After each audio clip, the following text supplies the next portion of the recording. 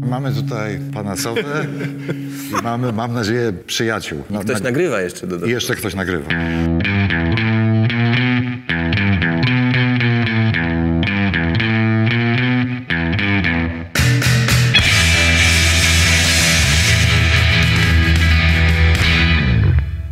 Zapraszaliśmy tutaj, żeby to zdradzić, e, również no, świeżych sojuszników PSL-u, czyli przedstawicieli Kukiza. I oni, e, że pozwolę sobie na niedyskrecję, jeszcze się wciąż wahają, czy e, wolno im wejść do tej lewackiej jamy i z nami rozmawiać. Jak rozumiem, to jest przedmiotem ich rozterek. Jeszcze się wciąż wahają.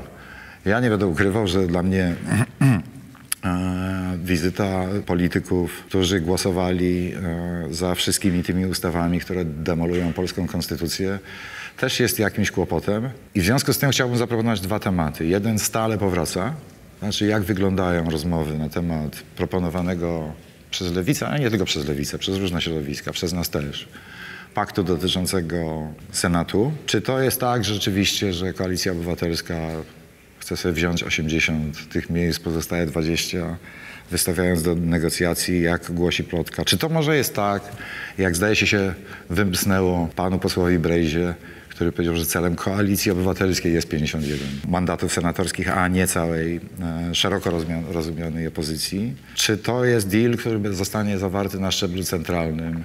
Czy lokalni działacze mają na to jakikolwiek wpływ? Czy to w ogóle ma szansę mieć sens? Przeglądałem się listom, e, te informacje pochodzą z mediów, na Lubelszczyźnie. Tam reprezentantami opozycji we wszystkich okręgach e, senackich są wyłącznie politycy Koalicji Obywatelskiej. Co szczerze mówiąc, jeżeli prawdą jest, że Lublin jest i Lubelszczyzna jest tak konserwatywna i e, propisowska, to wydaje mi się trochę złym pomysłem. Ja bym raczej szukał kandydatów wśród konserwatystów, ale oczywiście, ponieważ reprezentuję ruch Obywatele RP, no to najbardziej bym wolał, żeby to wyborcy zdecydowali. E, No ale to jest jeden z tematów, tak? jak wyglądają te rozmowy e, Koalicji Obywatelskiej. A drugi temat, dla mnie ogromnie ważny, to jest taki, jaki jest stosunek pozostałych dwóch bloków do tego, co wywijają nasi koledzy po tej konserwatywnej, powiedzmy, stronie. Tak? Bo ten sojusz z Kukizem budzi ekscytację. Ja wiem, że w środowisku ruchów obywatelskich, które dobrze znam, kipi od e, okrzyków zdrada, hańba, to jest za daleko posunięte. My, jako obywatele RP, mamy do tego, powiedziałbym, umiarkowany stosunek. Zdajemy sobie sprawę z tego, że na naszej bance świat się nie kończy. Że, nie wiem, protesty Komitetu Obrony Demokracji wtedy, kiedy one liczyły po kilkadziesiąt tysięcy ludzi na ulicach, to to nie jest cały świat i to nie jest cały świat demokratyczny. Wyobrażam sobie również, że istnieją konserwatywni demokraci. Mam z tym pewne kłopoty, ale to jest naprawdę moje zmartwienie. Więc chciałbym też wiedzieć, jaki jest stosunek wasz do negocjacji dotyczących na przykład podziału senackich tych miejsc kandyda- kandydackich pó- póki co z tym państwem, tak? czyli nie tylko z PSL-em, z nimi negocjować już przywykliście, ale również z Kukizem, z którym jeszcze chyba na takim poziomie nikt z was nie gadał. To jeśli mogę powiedzieć, bo ja akurat nie mam wiedzy niemal z pierwszej ręki, raczej ruch Kukiz 15 nie jest częścią tych negocjacji. Więc z tego co wiem, a znam człowieka, bo on jest z Wrocławia i nawet jeszcze dzisiaj rano się z nim widziałem, oni rejestrują swój własny komitet z myślą o wyborach senackich i w ilu okręgach wystawią kandydatów, nie wiem, ale raczej, że tak powiem, ten, to porozumienie, które jest pomiędzy PSL-em a e, ruchem Kukiz 15 Dotyczy Sejmu. mówi Sejm, o Sejmie, nie mówi o, o, o Senacie. Ale nie będziecie próbowali im perswadować tego? Ja, ja y, y, prawdę mówiąc, po tym programie wybieram się do Biura Krajowego rozmawiać o tym z prezesem y, z Kosiniakiem, z Władkiem i z Piotrkiem Zgorzelskim, Y, ale wiem, że również próbowali pukać bezpartyjni samorządowcy, ci od Raczyńskiego, żeby ich również uwzględnić, ale no, miejsc jest tylko 100, a chętnych jest kilkaset pewnie. Prawdą jest, że najwięcej y, z, z, Platformy, to fakt. To, to nie jest możliwość, tylko wiem, że, że tutaj jakby najtrudniej jest oddać jakiś okręg, zwłaszcza, bo na tyle, na ile ja rozumiem logikę tych negocjacji, bardzo niełatwych, bardzo trudnych, Platforma nie chce jakby oddać żadnego z okręgów, w którym dzisiaj senatora ma. Tak. Czyli takiego dla siebie wygodnego, pewnego, z chęcią jakby mówić do, do partnerów, zwłaszcza do PSL-u, nie wiem jak z Lewicą, dobra, wystawiajcie sobie, nie wiem, umownie w Tarnowie, e, prawda, w, w, na Suwalszczyźnie. e, Tam, gdzie mamy Podlasiu. przechlapane. Tam, gdzie my e, szans nie mamy, tam wywalczcie. Więc e, dlatego to też nie są znowu miłe rozmowy i przyjacielskie. No to jest dosyć logiczne. Tru, trudno się dziwić, że nie rezygnuje się z tych, którzy weryfikowali się w poprzednich wyborach pozytywnie i zdo, zdobyli te mandaty. Natomiast no, też przestrzegałbym przed... y, Ja jestem z Małopolski, tam tylko mamy dzisiaj dwóch senatorów, obaj z Krakowa. E, Pozostałe okręgi były przegrane i to dosyć wyraźnie e, cztery lata temu. I, to jakaś była jednak duża trudność ze znalezieniem kandydatów, którzy e, podjęliby walkę i chcę od razu zapewnić, że chociaż mamy tam wystawionych czterech kandydatów dzisiaj z tych pozostałych sześciu okręgów, to tylko jeden jest członkiem Platformy. Wszyscy pozostali to są kandydaci, których żeśmy szukali. To jest Artur Kozioł, burmistrz Wieliczki, bardzo e, dobry, e, z, uznaną marką już e, osobistą i wydaje mi się, że bardzo mocną pozycją e, społeczną i taki kandydat, który na tym, w tym okręgu może bardzo skutecznie zawalczyć jednak z kandydatem PiSu. W Tarnowie wystawiany jest e, e, Jakub Kwaśny, to raczej polityk związany z lewicą. e, Tak, zresztą, doktor Kwaśny, e. Przewodniczący Rady Miasta Tarnowa wszedł e, w wyborach samorządowych w konkurencji do ko Koalicji Obywatelskiej. Dzisiaj oczywiście tworzymy koalicję w Tarnowie, ale to jest polityk, którego droga jest zupełnie samodzielna. To, że on jest na naszych listach i kandydatem Koalicji Obywatelskiej, to nie oznacza, że on jest kandydatem Platformy. On jest po prostu e, przedstawicielem Stowarzyszenia Energia Miast, e, która e, z której kandydaci startują po prostu z list Koalicji Obywatelskiej, bo budujemy obywatelską listę. Obywatelską listę, na którą zapraszamy e, przedstawicieli organizacji pozarządowych. I to bardzo dobrze, prawda, że tacy ludzie bardzo wartościowi są na naszej Nie, dobra, liście. wszystko dobrze jest, bo wszyscy zapraszają e, spoza własnych Nadałem partii przykłady, prawda? aktywistów. Gorzej jest, i to jest kamyczek akurat do waszego ogródka, kiedy zapraszacie e, kandydatów jakby z tych pozostałych dwóch bloków, tak? bo to też e, budzi ekscytację. E, no, natomiast, y, no, no, no właśnie, bo wy się rzeczy, bo, bo, Znaczy, bo pierwsze- PSL, jak słyszę te komentarze, to generalnie rzecz biorąc sprzeciwia się dealowi zawartemu na centralnym szczeblu, tak? Bo słyszałem takie Pierwsze, komentarze. Na początku, jeszcze wracając do tego, co, co y, powiedziałeś o pakcie z Kukiz 15, trzeba powiedzieć jasno, tak, ten pakt dotyczy kwestii Sejmu. Jeśli mnie osobiście pytasz o zdanie, ja uważam, że Sejm jest kluczowy. Mimo tego, że pewnie niektórzy twierdzą, że łatwiej będzie przejąć y, w cudzysłowie Senat, tak, i tam y, wygrywać y, i, i zdobywać tę większość, ale ja uważam, że mimo wszystko Sejm to jest kluczowa bitwa i tutaj każdy, kto, kto, powinien, kto ma jakieś szanse, żeby zrobić dobry wynik w Sejmie, powinien tam iść, a nie uciekać do Senatu. To jest moje osobiste zdanie, jeśli mnie o to pytasz. Natomiast jeśli chodzi o kwestię Kukiz 15, fajnie, że, że takie zaproszenie y, zostało do nich wysłane. Bo my sobie zdajemy świetnie sprawę z tego, że różne są głosy, pojawiają się pytania, ale ja zawsze tak w pierwszym kontakcie z y, no, przedstawicielami głównie opozycji ulicznej, bo, bo z nimi jak się spotykam, to, to głównie oni zadają mi te pytania trudne, Mówię, no ale z drugiej strony zobaczcie, to lepiej, żeby poszli po tamtą, do, do, na tamtą stronę.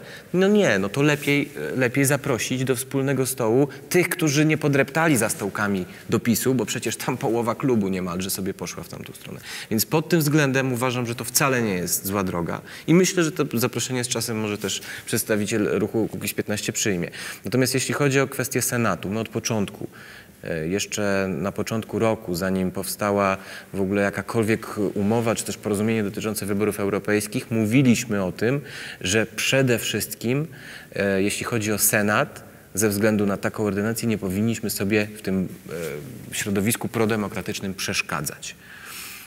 Wy, wycho, wychodzimy z założenia, że e, kandydaci najlepsi, bez względu jak, na, na, na to, jaką partię, bądź bezpartyjni, ci, którzy mają szanse największe na to, żeby zdobyć mandat, powinni być wystawiani i w tych okręgach inne partie po prostu nie wystawiać powinny żadnych kontrkandydatów. Dlaczego? No prosta sprawa. Jasne. Chociażby okręg podwarszawski. Tutaj mamy sytuację, gdzie pan Radziwił, pożal się Boże, jest senatorem, zdobył 90 bodajże tysięcy głosów, ale miał przeciwko sobie kilku kandydatów opozycji z różnych e, formacji. I oni w sumie, ja wiem, że to się nie, nie, jeden do jednego nie sumuje, ale oni w sumie zdobyli o wiele wiele więcej głosów niż e, kandydat e, PiSu. I gdyby był jeden kandydat w tym okręgu, to mielibyśmy senatora z bloku prodemokratycznego. Więc to jest logiczne i myślę, że to jest do zrobienia. Tylko nie jest to łatwe. To na pewno. Kiedy my mówiliśmy o pakcie senackim, proponowaliśmy pakt senacki, to mieliśmy nadzieję i dalej mamy taką nadzieję, że to będzie taka uczciwa propozycja dla e, wyborców, która połączy nas wszystkich, e, ponieważ do Sejmu startujemy w e, trzech różnych blokach. E, moim zdaniem tak jest lepiej, jeżeli chodzi o Sejm. Ja się z tym też osobiście czuję lepiej. I myślę, że wielu wyborców będzie miało ten komfort, żeby głosować na listy, które są zgodne z ich systemem wartości. Natomiast rzeczywiście też nam zależało na pakcie senackim, e, ponieważ uznaliśmy, że możemy pozwolić sobie ze względu na specyfikę wyborów do Senatu, na jednak inne przepisy, nawet nie pozwolić się, ale jest taka dziejowa konieczność, że ponieważ są to okręgi jednomandatowe i tam po prostu wygrywa silniejszy bądź silniejsza, to dobrze byłoby, żebyśmy wspólnie zadbali o to, żeby to byli kandydaci i kandydatki opozycji i żeby ten Senat był w miażdżącej większości, e, jeżeli demokracja pozwoli oczywiście, związany z opozycją. Mam nadzieję, że pan Brejza, mówiąc 51, właśnie to miał na myśli, e, a nie to, że będą to tylko senatorzy i senatorki e, Koalicji Obywatelskiej. Szczerze mówiąc, e, mam nadzieję, że troszeczkę się wszyscy jednak opanują, bo ja cieszę się, że koalicja. Ja naprawdę nie chcę być złośliwa, ja też bardzo ewoluowałam przez ostatni rok, nawet bym powiedziała, jeżeli chodzi o swoje podejście do tego, jak skutecznie możemy przeciwstawić się Prawu i Sprawiedliwości, w jaki sposób zaangażować w to nasze siły, tak żebyśmy w miarę niepodzieleni z tego wyszli. I zrobiłam to dlatego, że piszą do mnie mm, wyborcy, ci, którzy chcą rozmawiać, dyskutować i mówią, nie kłóćcie się. E, Chcemy wyrazistych programów. E, To są wyborcy, którzy na przykład chcieli osobnych list dla lewicy, ale którzy nie chcą, żeby między nami były e, jakieś takie brzydkie kłótnie.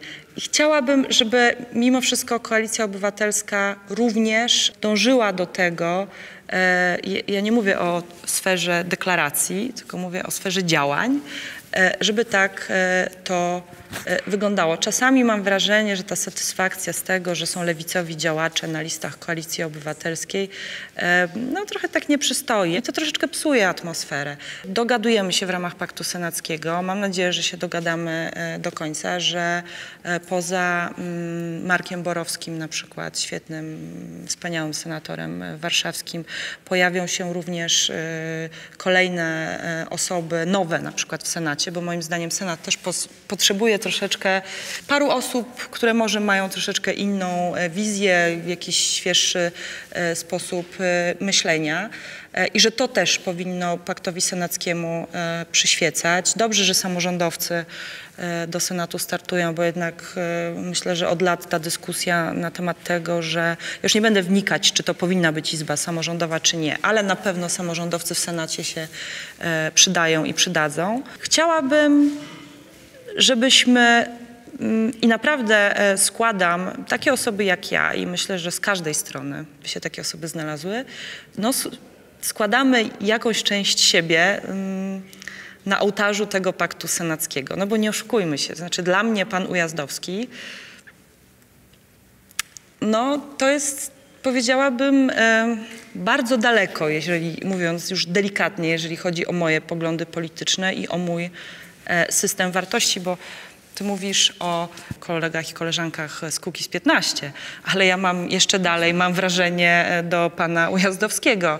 E, Kiedyś siedziałam w jakimś programie i tam Paweł Kukiz mówił wprost, że on e, nie chce e, wspólnych list, e, o, przepraszam, wspólnego startu do Senatu. To całkiem niedawno było, że oni jednak będą, tygodniu. że oni jednak będą wystawiać tam, gdzie mają silne kandydatury według siebie, e, będą wystawiać e, je e, osobno. Więc ten pakt senacki to też jest bardzo dużo kompromisów e, i, i, i bardzo trudne decyzje i dobrze, żebyśmy to wszystko robili po partnersku, bo potem ta kampania mm, od tego, czy zostaliśmy potraktowani wszyscy po partnersku i nasi wyborcy będą to widzieć, będą efekty tego ja bym bądź się nie. chciał dopytać jeszcze, tak? Bo jak proponowaliście ten pakt e, senacki, to jak ten? E, I też wspomniałaś o tym, że te rozmowy jakoś idą. Ja, ja, To Ja bym chciał wiedzieć, jak... Nasz zespół negocjacyjny mm, no, mówi, że y, jakby i, idą i że idą w dobrym kierunku. Nie mam powodu kolegom nie Ale wierzyć. co to jest? To się centralnie spotykacie gdzieś w, w jednym miejscu w Polsce, prawdopodobnie jest to Warszawa i ustalacie... I co, i rozmawiacie? Każ- Każdy Jest to okręgów. wiejska, siedziba Platformy. I ustalacie w każdym ze stu okręgów wyborczych, czyj będzie ten kandydat? No Jak, jak, to, się, jak to się odbywa? Też nie przesadzajmy. Są No, ci rekomendacje. Kandydaci, kandydaci są y, pierwsi w ogóle z wszystkich ugrupowań, byli rekomendowani z dołu. To nie jest tak, że w Warszawie... Nie, Ujazdowski... nie, Ale Ujazdowski... Sekundę, no jedno, nie, ale okej. znaczy nie ściemniajmy tutaj. Znaczy Ujazdowski nie był rekomendowany. No nie, ale, Nie, ale chodzi o co innego, że tak? przy- przychodzą Samego jakby... początku. e, Propozycje, tak. propozycje przychodzą najpierw od... e, z, z regionu. Z regionu. W wielu, w wielu i okręgach potem w ogóle są, nie było kolizji, chcę powiedzieć. I to potem nie jest są tak, omawiane. Była dyskusja, była kolizja w wielu okręgach, Okej, bo był okej, nadmiar chętnych. okej, dobrze, Często był rozumiem, jeden że- kandydat w okręgu i nie było zauważcie, dyskusji. tylko zauważcie jak, jak Paweł Kukiz mówi, nie, nie to, żebym miał jakąkolwiek sympatię do Pawła Kukiza, przecież, nie o tym mówię. Jak Paweł Kukiz mówi, że uparł się i chce wystawić kandydatów, których uważa za mocnych, pewnie w miejscach, które uważa za prawdopodobne, to kto wiecznie ma racji, że ten prawdopodobny kandydat, e, e, jego ma szansę. Tak? Moje pytanie zmierza do tego, skoro to i tak jest pakt o nieagresji, ten między wami, między trzema tymi blokami. To czemu nie objąć tym paktem e, Kukiza, niezależnie co, co, co od tego mówi? Powiedzmy, że on ma mocnego kandydata w Przemyślu. Kompletnie hipotetyczny przykład. Ale to jest prawda, tam akurat nie powiedzmy, że ma mocnego kandydata w Przemyślu. I powiedzmy, że Platforma Obywatelska idzie po rozum do głowy i mówi, nie, no, i tak nie mamy szans. I to samo mówi e, Lewica. Ja wymyślam tę historię, tak? bo ja wcale nie wiem, czy w Przemyślu to rzeczywiście dokładnie tak wygląda, ale powiedzmy, że tak jest. Tak? To czemu nie ustąpić? Wiedzieć, okej, cookies, dobra, masz. I liczyć na to, że on jednak związany tym koalicyjnym układem z PSL-em i Unią Europejskich. Demokratów w Sejmie. Nie nazywajmy generalnie tego jego układem, bo to TV PiS nazywa wszystko Ja nie Ja- jasne, wykluczam, że będzie, że mogą być takie słowo że układ. nie będzie y, kandydata wystawionego przez te trzy komitety wyborcze, tak? Że będą kandydaci niezależni. Główny mój żal, czy nasz żal, obywateli RP, związany z procedurą tą, tą taką jednak gabinetową tych wszystkich rozmów, on bierze się stąd, że w e, warstwie pryncypiów ta sytuacja plemiennej wojny z PiSu, kiedy my musimy głosować na najskuteczniejszego kandydata, który jest w stanie pokonać PiS, koniec, no to ta sytuacja odbiera nam wybór de facto, tak? Z tego punktu widzenia ja też się cieszę, że są trzy bloki, bo mogę, bo tutaj demokracja jakaś tam istnieje, ale w Senacie to jest jasne. Tak? Że w Senacie musimy wystawić jakiegoś jednego kandydata. Dlaczego na miłość boską koniecznie uparliście się negocjować to centralnie, lokalnie, oddolnie, czy ci kandydaci się pojawiają, e, czy nie, ale dlaczego to wy o tym decydujecie, a nie sprawdzicie, czy Kazimierz Michał Ujazdowski kontrowersyjny kandydat, mówiąc najdelikatniej, rzeczywiście ma szansę zdo- zdobyć sympatię i zaufanie wyborców. Bo tropem tych, tej naszej idei, że, że wrócę do starej i już nieaktualnej idei prawyborów, to to byłby taki sposób, w których lewica mogłaby być może zaakceptować e, werdykt wyborców na tym terenie, w którym wygrywa Kazimierz Michał Ujazdowski i powiedzieć, okej, Jesteśmy za demokracją, demokracja chce Ujazdowskiego, w tym sensie my jesteśmy gotowi go poprzeć, a w każdym razie co najmniej mu się nie sprzeciwiać. To się zdarzyło w prawyborach włoskich. Dzięki temu Prodi wtedy wygrał. Uparliśmy się tego kompletnie nie robić e, tutaj. Dla mnie jako, e, jak, jak, jako freedom fightera z ruchów obywatelskich to jest sytuacja, muszę powiedzieć szczerze, bez żadnych ogródek, wysoce upokarzająca. I uważam, że to jest nieracjonalne postępowanie.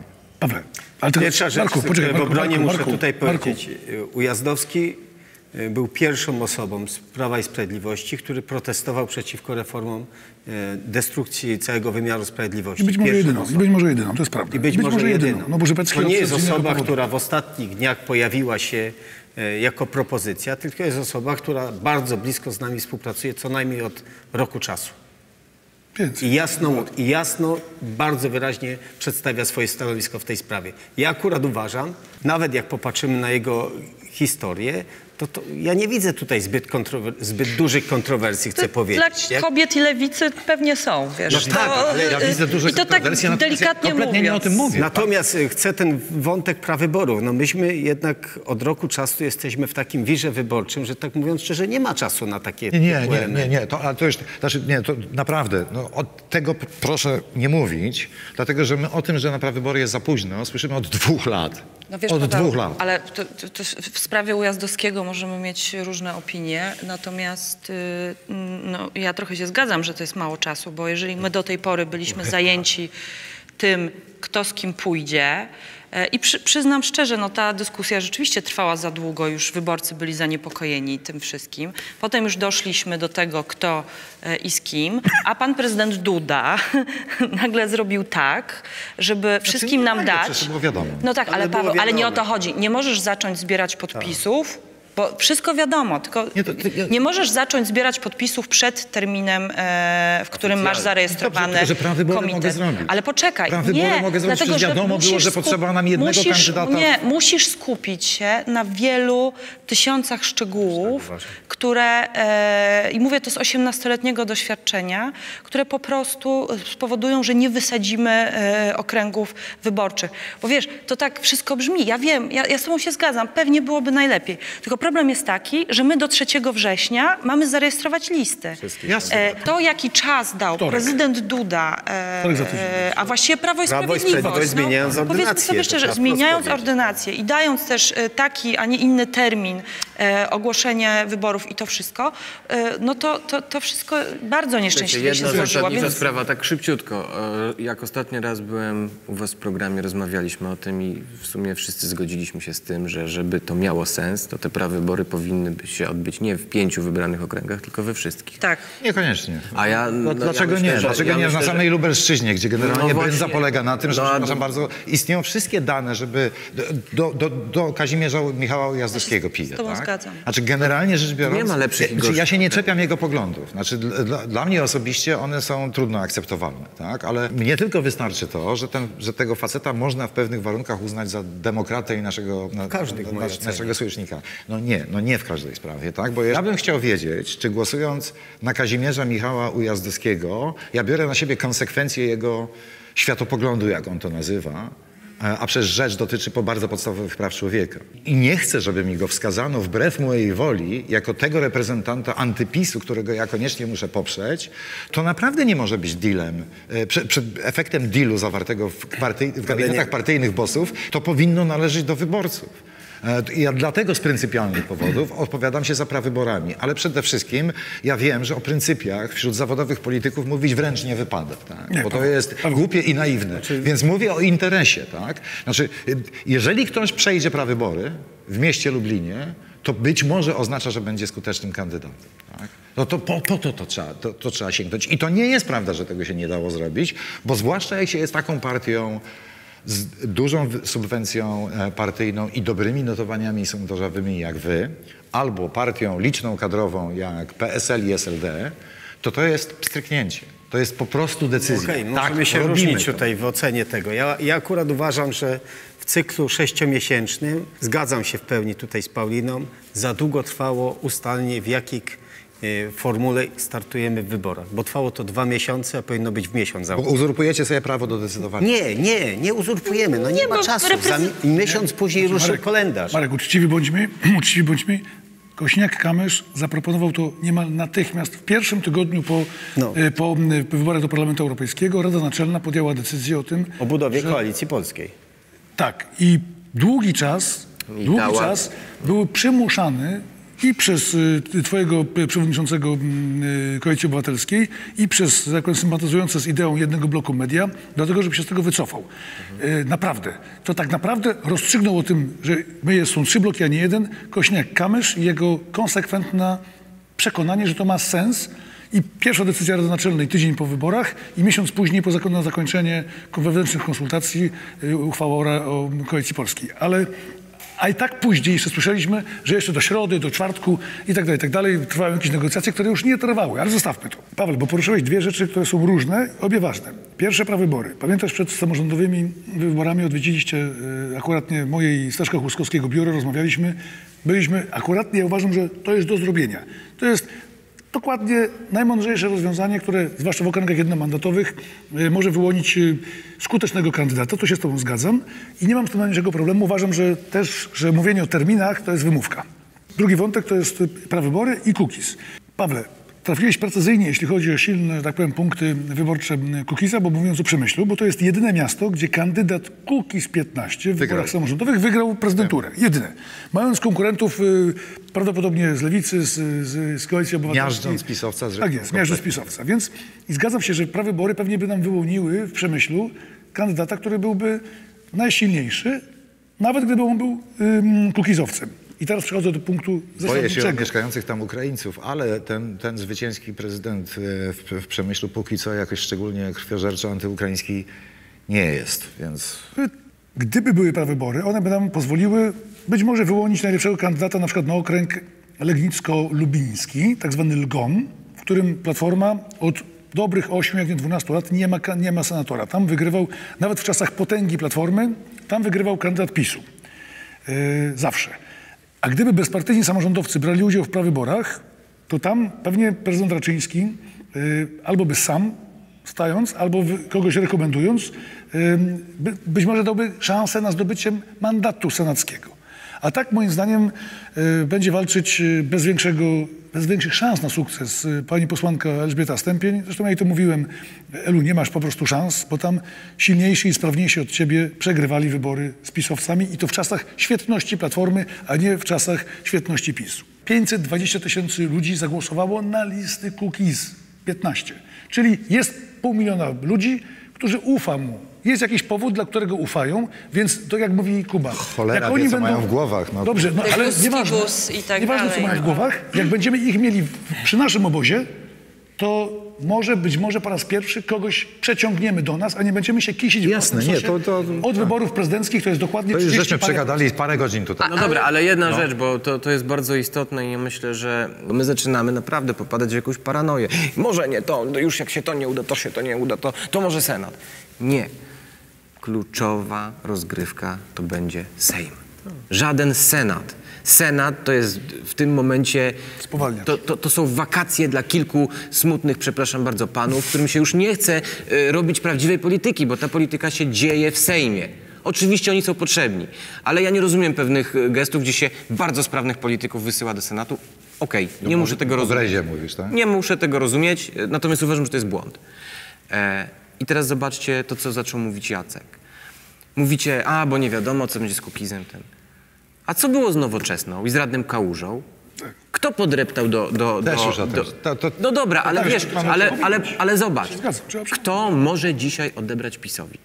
Głosy do Sejmu. Zostawmy Senat. Kto? Ja myślę, że większość jednak rozumie, że to jest ta strategia związana z tym, że mamy te trzy bloki, że ma być silna lewica, e, że ma być e, centrum e, i że ma być ktoś, kto będzie mógł to zrobić, czyli powalczyć o część tych głosów, wyrwać jakieś głosy e, e, Prawu e, i Sprawiedliwości, tak żeby nam rzeczywiście co najmniej, to jest jakiś taki minimum plan e, na te wybory, bo najlepszy byłby, jakbyśmy po prostu zwyciężyli, ale minimum plan to jest nie dopuścić do większości konstytucyjnej i to wszyscy chyba rozumieją. Natomiast jak wy mówicie, my nie rozumiemy, dlaczego mają pretensje do Kukiza. Nie wiem, może warto byłoby, żeby Paweł Kukiz zrobił tak jak na konwencji waszej wspólnej e, i powiedział, e, czy na konwencji, czy na konferencji powiedział przepraszam do, do, do, do Władysława, to niech powie do tych ludzi, o których do tej pory mówił, że to fanaberia, że tam gdzieś sobie coś bronią, strajkują, protestują. Nie wiem jak ty, ale I ja może- urazy nie chowam. No, no ale bo ty jesteś. Słuchaj, no ale niektórzy. No w ogóle, w ogóle w życiu nie powinno się długo chować urazy, bo to niszczy również tę osobę, która urazy chowa i, i, i jasne. No ale rozumiem, że w polityce liczą się gesty. Ja tylko przepraszam, bo y, Jakub będzie chciał uciekać zaraz nam, Stefaniak. Ja, ja, a ja mam Nie uciekać, po prostu wyjść, ale Na, nego, na tajne negocjacje z Jedno. Kukizem to już wiemy. Jedno zdanie.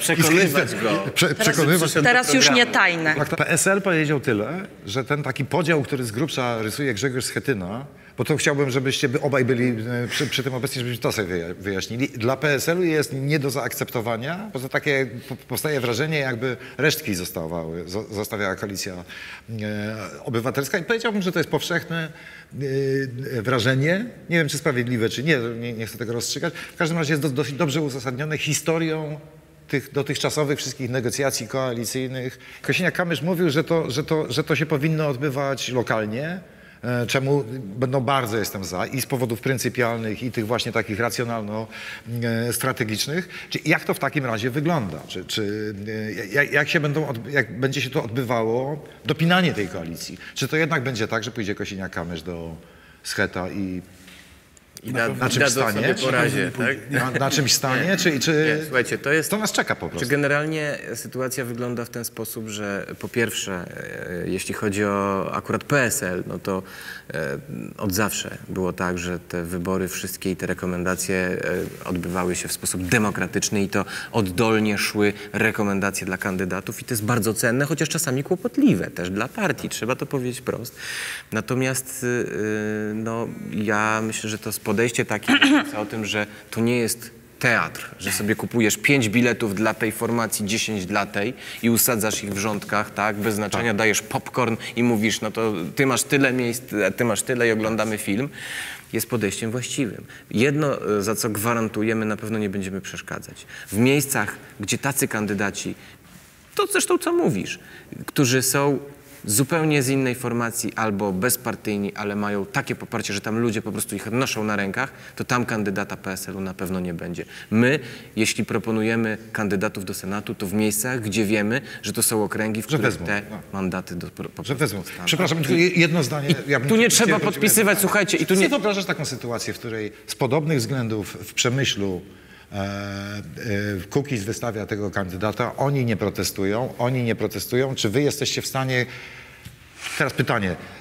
powiedzieć OK, niech będzie, Ja gdzieś bym jednak chciała, e, bo mam takie wrażenie, że my się znaleźliśmy w tym narożniku, w jakiejś takiej grupie które, trzymającej władzę, która nie chce dobra e, e, lokalnych społeczności. E, Przecież ten pakt senacki jest właśnie o tym, o osobach związanych, e, e, tak jak my tutaj siedzący, podejściem do demokracji, standardów demokratycznych, em, do tego, w jaki sposób powinny wyglądać relacje państwa z obywatelami. Nie stawiajcie nas proszę w takiej sytuacji, bo to jest dla mnie po prostu niezrozumiałe. Dla mnie też jest, e, mówisz, bo ten kandydat wygra e, e, Kukiza w Przemyślu. Tylko pytanie jest takie, skoro Paweł Kukiz i jego ludzie nie chcą brać udziału w pakcie senackim, no to pytanie jest takie, To co ich senatorzy, co ich senatorzy będą reprezentować To w Senacie. W ogóle pro- pro- to jest- program senacki jest to- to jest E, Bo jeżeli okaże się, że, że. Paweł Kukiz na przykład, ja nie chcę tak mówić, ale że dla niego to, co dla nas jest standardami, tak naprawdę tymi standardami e, nie jest, no to jak sobie to wyobrażasz, że my e, na przykład e, w ramach nieagresji odpuścimy sobie wystawianie tam kand... Bo ja nie wiem w tej ale- chwili, Paweł, Jeśli- tak. Paweł, ale ja tylko powiem do rzeczy. Jacek. Marku, ja tylko jedno zdanie. Ponieważ nie będzie, tak jak to zaczął mówić Jakub, a, y, ty mu akurat nie przerwać, nie będzie żadnego podpisanego dokumentu o koalicji. Nie będzie. Znaczy na 100%. Bę- Będzie porozumienie o tym, że oby w stu okręgach nie konkurujemy. I ono będzie wydyskutowane i, i nie, nie trzeba żadnej wspólnej konferencji, żadnego y, uściskania y, dłoni, żadnego dokumentu. Nie będzie. Znaczy ja wiem na pewno PSL do tego Ale- będzie... Skorzystam z bycia Nie chodzi o- nie- Jedna rzecz. Ujazdowski. Kompletnie nie mam z nim wspólnych poglądów, ale sami powiedzieliście, to była pierwsza osoba, Tak. która powiedziała nie reformą Prawa i Sprawiedliwości. Nie mamy tej samej sytuacji z e, Kukizem, kolegami. zupełnie inaczej.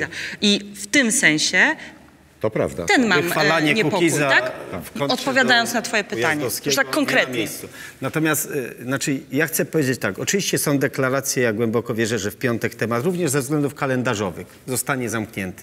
Ale jeśli się zdarzy tak, W piątek zostanie zamknięty, to no, znaczy ze co się stanie? względów kalendarzowych nie ma możliwości przeciągania. No, jeśli się w dwóch, trzech okręgach e, nie porozumiemy, bo jest możliwość przecież indywidualnego... 3 września mamy czas, tak? No okej. No nie do trzeciego, Do bo którego? komitety indywidualne rejestruje się e, chyba w poniedziałek mija termin. Muszą się zarejestrować jeszcze. e, My mamy, Komitety, dobra. my mamy prawo zgłaszać kandydatów ze swoich list, natomiast indywidualne, nie, bo nie zablokujemy Polakom możliwości startu, oni mog, muszą zarejestrować swoje komitety. Jeśli się tak zdarzy, że w jakichś trzech z różnych względów, bo to mogą być, nie wiem, ambicjonalne lub, no nie chcę wchodzić głębiej, nie będzie porozumienia, bo powstanie kandydat zarejestrowany z lokalnego komitetu, to lepiej mieć porozumienie w 97 niż nie mieć w ogóle. To jest Nie, pierwszy, dobra, okej. pierwszy I- element. Istnieje nie? jeszcze ten wariant węgierski raz ćwiczony, tak? Że, że znaczy można się porejestrować, można się wycofać. Tak? Spoko, To prawda. Rozwiązań To trochę okej. jest. Także to... No to, to jeszcze jest na to, Tak, też tak. chcę powiedzieć, te normy z podpisami y, zostało tydzień czasu. To jest naprawdę trudne, trudne wyzwanie, więc jak ktoś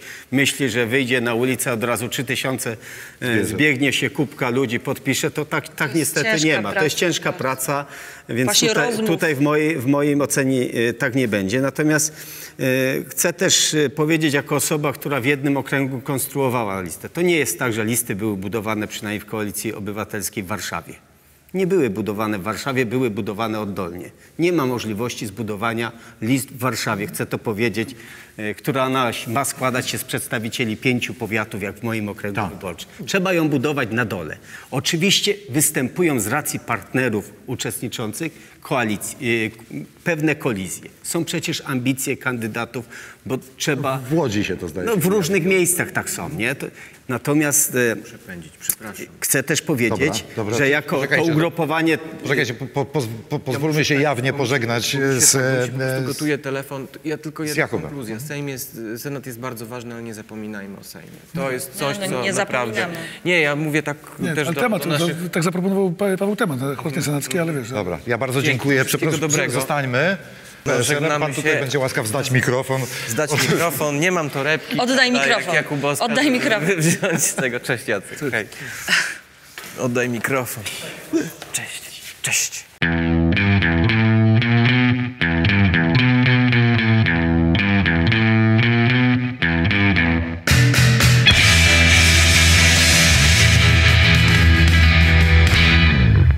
Czujemy też taką odpowiedzialność, że nie wolno PiSowi oddać walkowerem, że jeśli nikt nie zgłasza kandydatów do Senatu, to naszym obowiązkiem było wystawiać kandydatów po to, żeby jednak wszędzie była rywalizacja, żeby nigdzie nie było oddane wolnego pola. A takich przypadków było na bar- naprawdę bardzo dużo. Naprawdę bardzo dużo.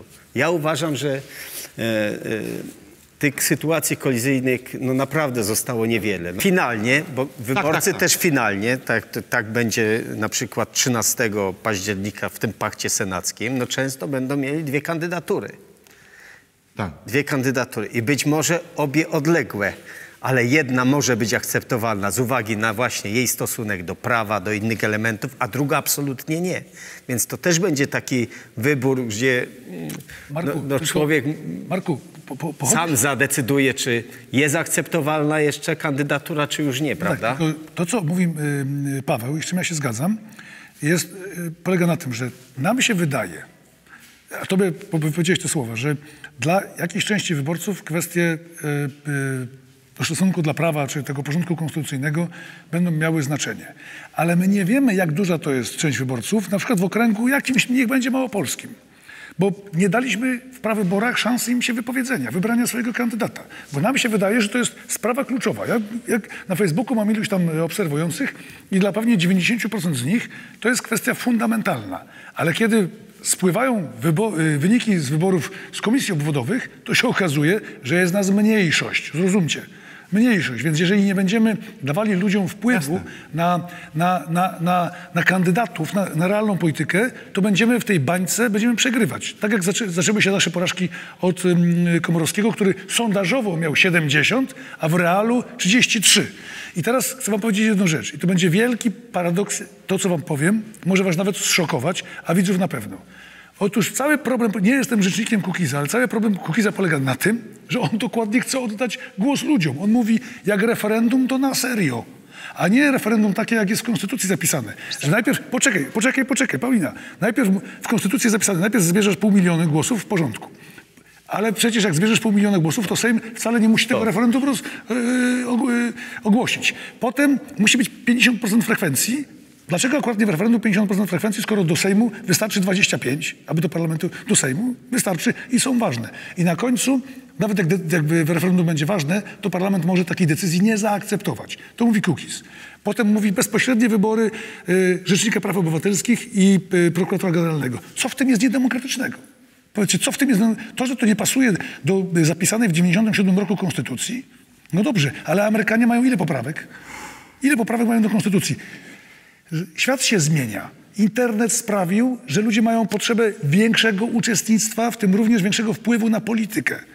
I Cookies przy wszystkich swoich, że tak powiem, wadach jest w tym sensie, powiedziałbym, uczesanym populistą, populistą. Znaczy właśnie pytanie jest, czy jest uczesany. Tak? No dobrze, ale jest, znaczy rozumiesz, ale on nie proponuje Nawet- referendum w sprawie kary śmierci. Przepraszam. A propos Kukiza, ja jedno zdanie powiem. Znaczy ja uważam, że PSL kupił polisę ubezpieczeniową ko- koalicją z Kukizem. Znaczy, że Znaczy, bo i, I, właśnie... i, i, ale, ciebie- ale nie, A, ale, ale ale, poczekaj, ja Marek. to w elemencie pozytywnym mówię, tak? Marek. Nie ma, ja uważam, bo, bo to jest też nasz interes, żeby nie było zmarnowanych głosów w wyborach. Znaczy, do parlamentu, no, tak jak każda lista pod temu, progiem z tak? Konfederacją jest włącznie najgorsza- gra na korzyść Matko Boska No właśnie, o, o, tym, o tym mówię. Więc dzisiaj, jeśli e, tych głosów no, pozytywnie trafionych, czyli na reprezentację, która będzie w parlamencie, będzie 95 czy 96%, no to uniemożliwia taką sytuację, jak była 4 lata temu, że 37 daje bezwzględną większość, bo nie Jasne, daje. jasne, jasne. Bo nie daje, więc to jest korzyść w mojej ocenie bardzo duża, nawet bym powiedział największa z koalicji polskiej w, w tym momencie. No, Ja muszę sobie na złośliwość pozwolić. No, Ale wszyscy wiemy, jak Paweł Kukiz wybierał swoich kandydatów do Sejmu. No dobrze, Bo był jeden, jak we Władcy Pierścieni, który wybrał sobie ludzi i powiedzmy sobie ze skutkiem takim e, dla e, demokracji, że pojawili się e, w Sejmie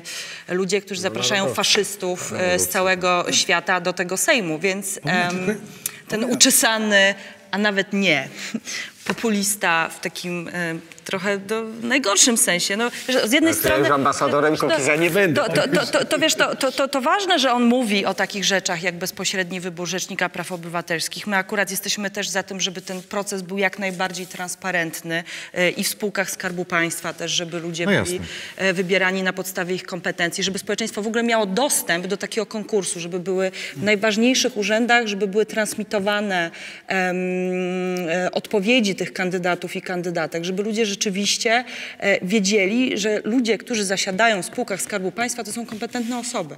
Ale ten sam człowiek, o którym mówisz, jak budował swoje listy, to wybrał jakichś tam ludzi różnych e, i obawiam się, że ten proces nie był zbyt demokratyczny. I, i, i, i, te, i te procesy w naszych partiach mimo wszystko są dużo bardziej demokratyczne Paulina, Paulina, niż to, w jaki Paulina, Paweł Dobrze, ma- masz prawo do złośliwości, tylko ja ci raz jeszcze odpowiem ci. y, To chodzi tylko o to, czy Paweł Kukiz tak się różni od tego wizerunku polityka, złego polityka, jak on bardzo by chciał. Czekaj, poczekaj chwilkę, ale daj mi teraz odpowiedzieć. Jakby nie jestem rzecznikiem Pawła Kukiza, tylko on był 4 lata temu na pewno bardzo nieuczesany. Dzisiaj jest bardziej uczesany, dlatego że przeżył przez te 4 lata, dostał lekcję, między innymi od tych narodowców. Może nie Bolesną ale bardziej doświadczony. jest. Bardziej doświadczony. Bo Na zgodę powiem, że nawet po przeszła mu selekcja Poczekaj. naturalna. Poczekaj, to jest, to jest pierwsza rzecz. I po drugie, raz jeszcze przypominam, chociaż mam świadomość być może nieproporcjonalności tego porównania, ale w 82, w, grudniu 81 i, w- i w 82 w sierpniu e, Czesław, ludzie Czesława Kiszczaka zabijali, zabijali e, innych Polaków, rozumiesz? A w 89 Kiszczak usiadł do rozmów okrągłego stołu z opozycją. Zabijali Paulina. Ja ci tylko jedną rzecz chcę powiedzieć, że jeżeli ty mi mówisz o tym, że ktoś zrobił błąd, bo skompletował fatalnie listę, bo dał się przekonać, że nie wiem, że narodowcy to są y, cywilizowani, do, no naprawdę. Znaczy, i Czy- ale jeżeli to nie ktoś jest, mi... z pełnym szacunkiem, Jacek, to nie jest trafione porównanie. Wiesz, jaka jest różnica? Taka, że dzisiaj osoba, która re- rekomenduje cookies, jesteśmy w sami w stanie powiedzieć coś, bo ich znamy z czteroletniej działalności w parlamencie, a cztery lata temu o żadnej czterdziestce nie wiedzieliśmy nic poza No to prawda, Kukizem. to prawda. To jest Znaczy nie, zasadnicza no, różnica. Lewica wiedziała, kim jest Winnicki, Ale, ale e, no, no tak, Tak, tak, no, paru to narodowcy gości. w ogóle, prawda? No to, to była paru gości było znanych. Tak. y, Nie, zgoda, egzotyczne. zgoda. Natomiast dzisiaj, o, o, przynajmniej o posłach czy posłankach, jesteśmy w stanie powiedzieć, prawda, ocenić ich dorobek, pracę, zachowanie. I ono jest różne też dla różnych osób, prawda? Ale też, bo to- ale, ale to nie- Ja pomijam przeszłość i wprowadzenie y, narodowców do, do, do Sejmu, bo w tej sprawie Nie mam takie jesteśmy zdanie w jak stanie się aż tak zachwycić. Ale poczekaj, ale kiedy on mówi referendum takie właśnie wzmocnione, to przecież jeden z, y, jakby jeden z kluczowych demokratycznych krajów w, w Europie, czyli y, Szwajcaria, po prostu rządzi referendami.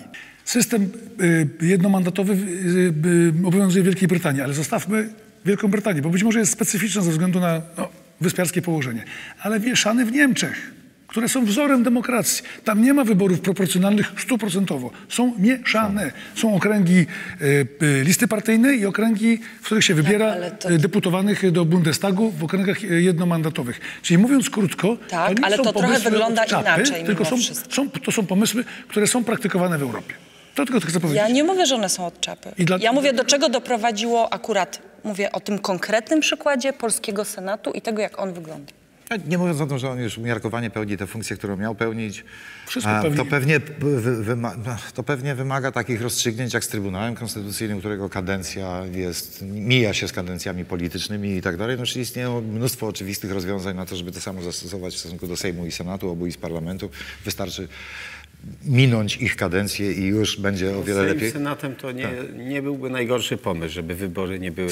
To jest problem taki, który, o który też wielokrotnie podnosiliśmy, że no, czy gdyby mówić, jeszcze raz na serio pomyśleć o polskiej konstytucji, o, o tej zasadzie trójpodziału władzy, e, którą wszyscy mamy pełne gęby, e, to, to mamy te pełne gęby e, gadania o trójpodziale władzy, zapominając o trzecim boku tego trójkąta. Znaczy, bo to, to, to jest jeszcze rozdział władzy uchwałodawczej, ustawodawczej od wykonawczej.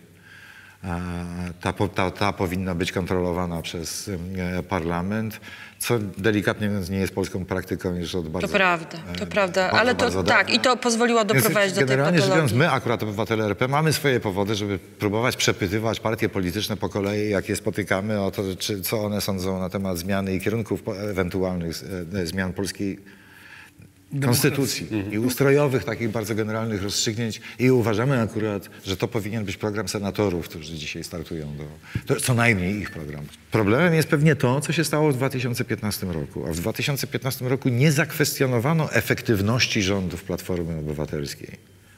Pisowcy wyborcy zak- zakwestionowali, niewątpliwie mówili to głośno i bardzo wyraźnie, uczciwość e, tych rządów. Tak? Ale wraz z nią zakwestionowana została całość podstaw polskiej liberalnej demokracji. I jeżeli ktoś miał wątpliwości jeszcze w 2015 roku, że to nie był jakiś przypadek, Fuchs w końcu PiS nie obiecywał demolki ustroju, tylko obiecywał 500+, ale kolejne posunięcia PiSu i reakcje społeczne na nie, wyniki kolejnych sondażów i również kolejnych wyborów, drodzy Państwo, pokazują, że rzeczywiście demolka polskiej demokracji, polskiej e, wolności ma akceptację tak sporej części polskich wyborców, że oni są w stanie te, te wybory wygrywać.